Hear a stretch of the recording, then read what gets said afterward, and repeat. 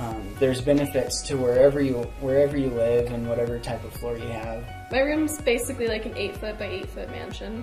The way we've got it set up, two bunks that are both lofted, giving you like extra space like underneath. Your closets are big. Uh, You can live in a single, you can live in a double, you can live on a community style bathroom, or you can live in a quad with other people. My roommate's name is Zamzam. She's from Somalia. We met each other at orientation and we really hit it off. So when we paired up on the Facebook app thingy for CSU, we were texting each other for a little while and we decided to become roommates. There are a lot of fun parts of living with someone. She definitely encourages me to kind of go outside of my bubble. Residential learning communities, RLCs, are basically floors in a hall that are composed of a bunch of students that have the same goals and the same either major or um, they aspire to kind of do the same things. It's really nice to have the people around you sharing a lot of the same experiences and a lot of the same classes and having a lot of the same struggles and a lot of the same victories that you are.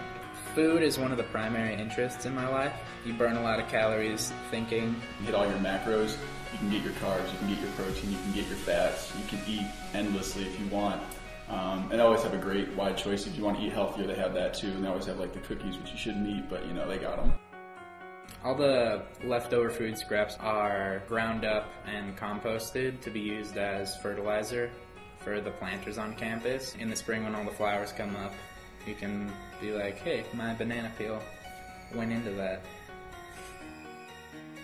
When I left home, I was honestly so excited. One thing that I miss more than anything are my dogs.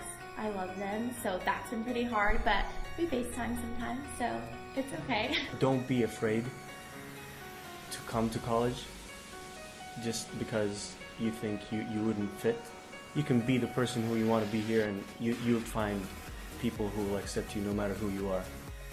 It's a big transition to move out of the house and live with a bunch of strangers. Being here has definitely changed a lot of and strengthened a lot of like what I value. I know I've developed a lot in my uh, social skills and my ability to take things on. I'm finding more things about myself that I really like and can find and find are unique um, and people like about me, which is exciting.